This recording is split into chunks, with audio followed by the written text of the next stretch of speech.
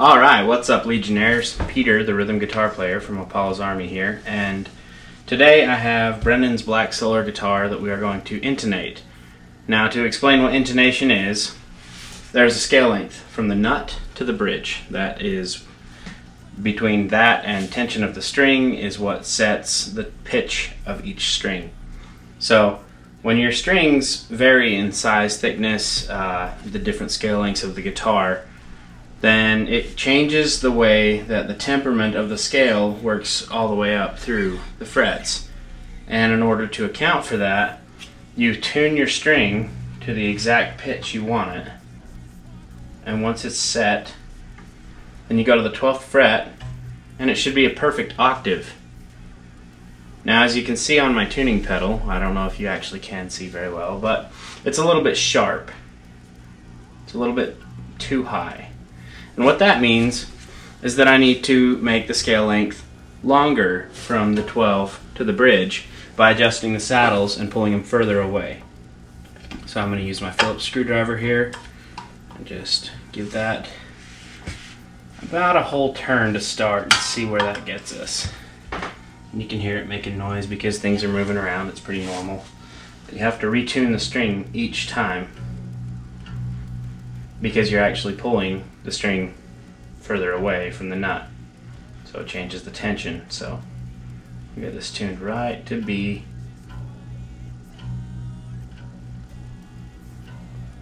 Once I get it set there to B where I like it, then I'm going to lightly touch the 12th fret. So we're just a tiny bit sharp, so we're almost there. That's a good start. Give it about another half a turn.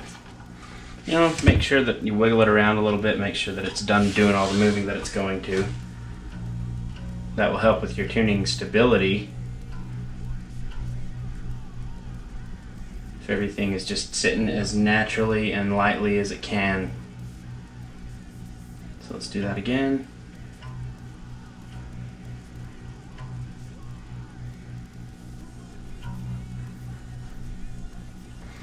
Another thing I wanted to mention is that I like to use the neck pickup for doing tuning anything, anything that needs like to be really accurate.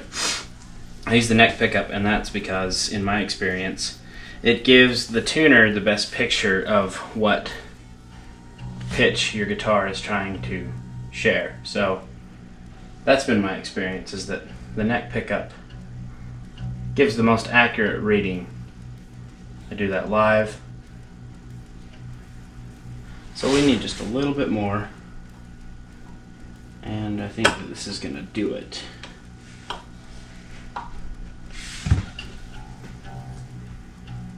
You gotta remember to tune it back to the pitch that you want it after each adjustment.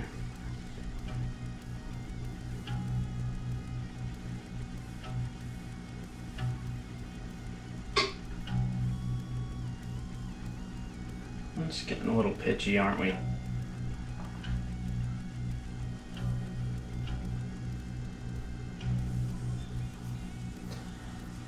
That some people might find this sort of thing like boring or aggravating because it requires time, patience, and a little bit of knowledge. The knowledge is super accessible, honestly, and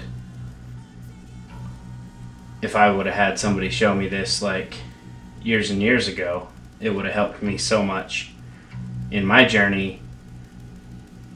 The idea being that if you can manage all the basic maintenance of your own instruments, then the financial burden of being a starving musician, as the stereotype goes, is a lot smaller. So, you can share that with your wife. Maybe that will help.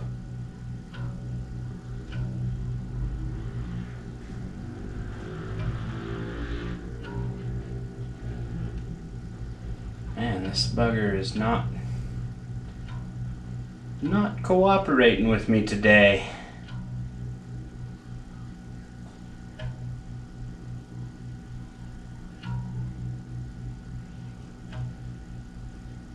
That looks pretty good, honestly. So we're gonna go B and then E, because we're in standard tuning.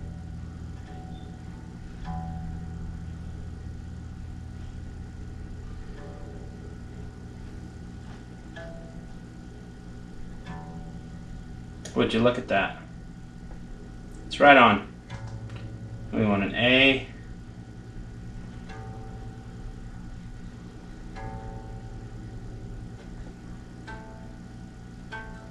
Now that's a little flat, so we're going to do the opposite. We're going to close the scale length.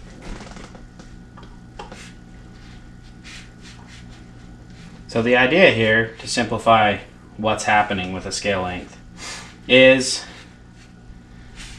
you understand when you fret up, you change the pitch higher.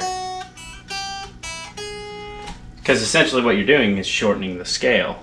The tension on the string is the same. The only time that the tension is changed is when you pitch bend. And that changes the tension some, but shortening the scale brings the note up. So when we are flat, then we shorten the scale length from the bridge, and that will bring our pitch up.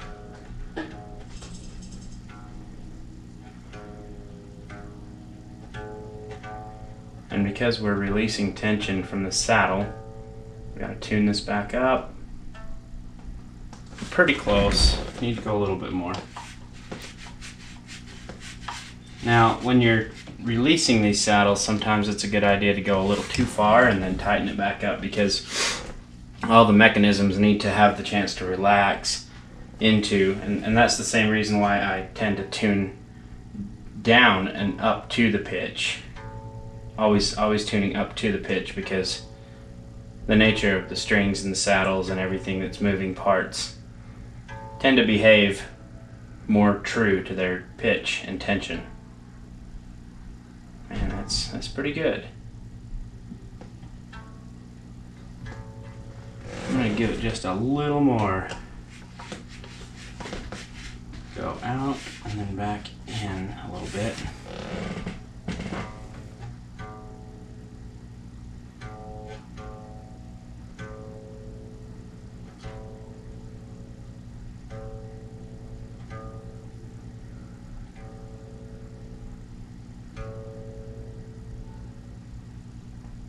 Okay, we're right on there.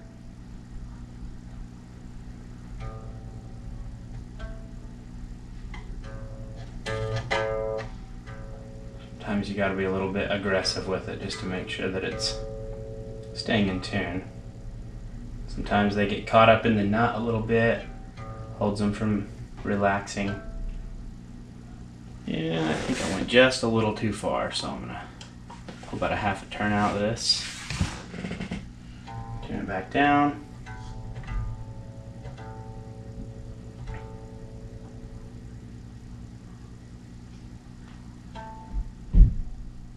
And we're there. Perfect. Next string. We got a D.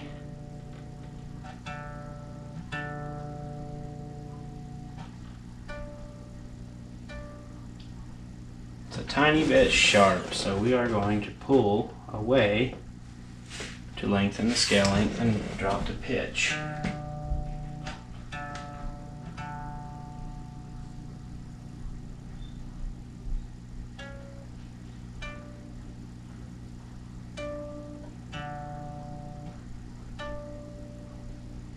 You want to make sure when you're doing this, when you're putting pressure on the 12th fret, that you're really close to the back side of the fret and pushing very lightly because you don't want to do anything that's going to pull the string further out of pitch than the actual position of the fret.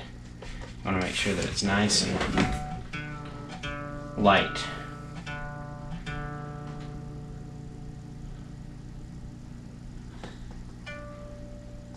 And there we go. We got a perfect D. You can make all the jokes about that you want.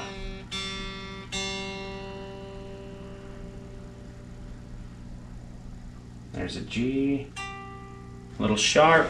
Gonna pull away. Lengthen the scale. Give it about a good turn and see where we get with that.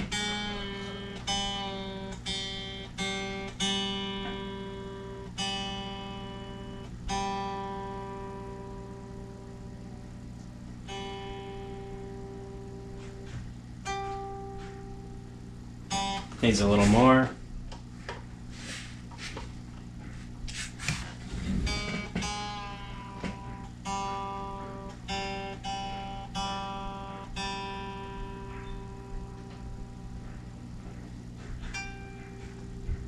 Tricky part about working on Brennon's guitars, for me, is because he's southpaw, he plays left-handed.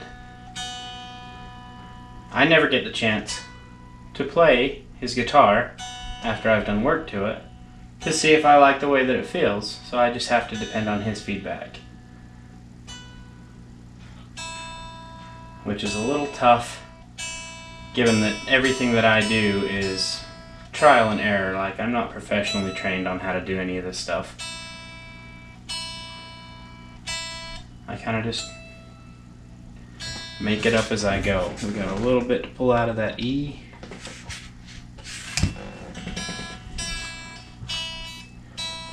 So I'm quite dependent on bringing the instrument back to him and getting his feedback. So it's hard for me to make minor adjustments. Just say, for instance, if I'm trying to do uh, any saddle adjustment for the string action or any of that. But I think that we are getting pretty nice here.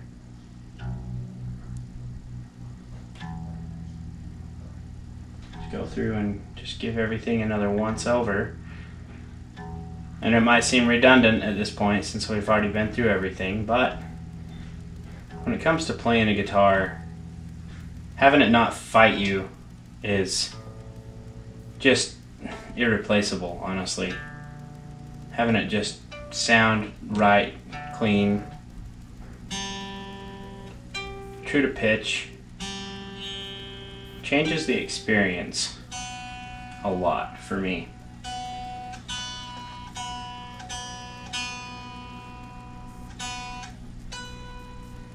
When I was younger, I used to play a lot of guitars with Floyd Rose tremolos, and if anybody out there has played Floyd Rose tremolos, you know they can be a lot to set up, a lot to tinker around with. Then if you're afraid of messing with them, well, you can you can definitely be intimidated right out of playing the guitar because they can be very frustrating.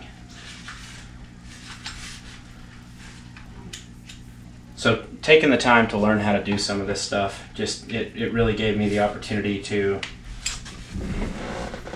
really dig in on playing the guitar because you know money being a factor you can't always afford to just take it to somebody and get it fixed. But if you can take the time to fix it yourself and then be satisfied with the end result is just life-changing for me so I have a little bit of a loose knob here. I'm going to go ahead and tighten this up. It's not something he asked me for, but I noticed it. And for this, you just use a little socket. I think it's about a 12, let's see, oh, maybe an 11. 11 millimeter.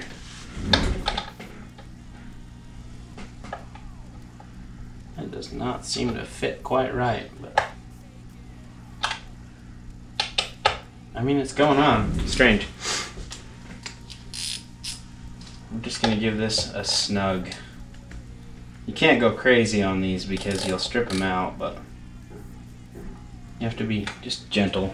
Just get it nice and snug so that it stops fighting. And there we go. I'm going to put this set screw back in.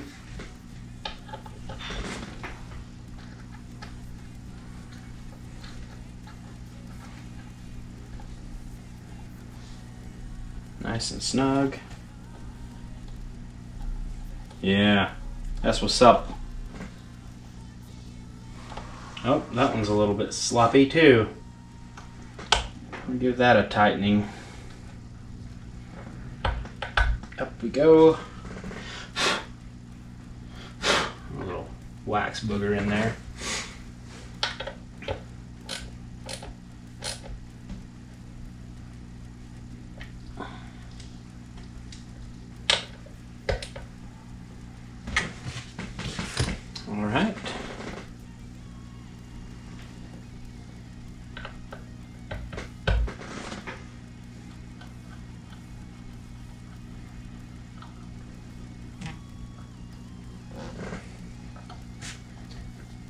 And there you have it.